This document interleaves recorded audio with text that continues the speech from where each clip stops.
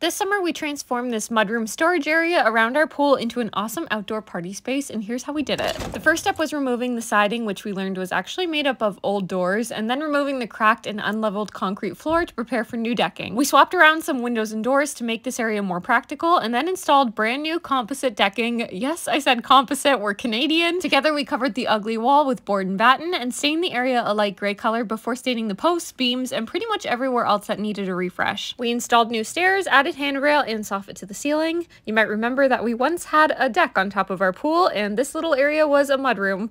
So now it's a really fun outdoor party area. Were you following us this past summer when we transformed this area around our pool? You can let us know.